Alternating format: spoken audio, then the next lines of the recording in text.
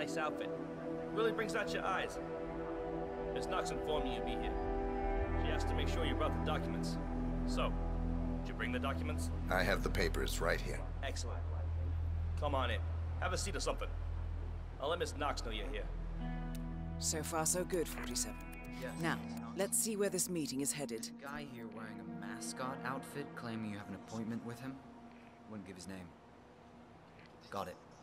I'll let him know you're en route. Hey, Flamingo guy. Miss Knox is on her way.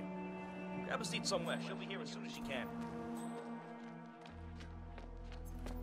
So, it's a great outfit. Thinking it must get pretty warm in there, though. It's insulated. Huh. Imagine that.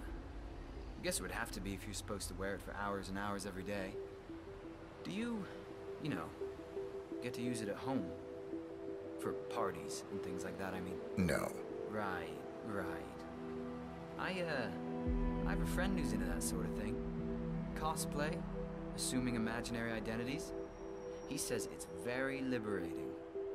Takes him out of the stress of everyday life and work, you know? Not really. Yeah, I guess it's different when you do it for a living. How's the pay? Sufficient. Nice. Okay, good talk.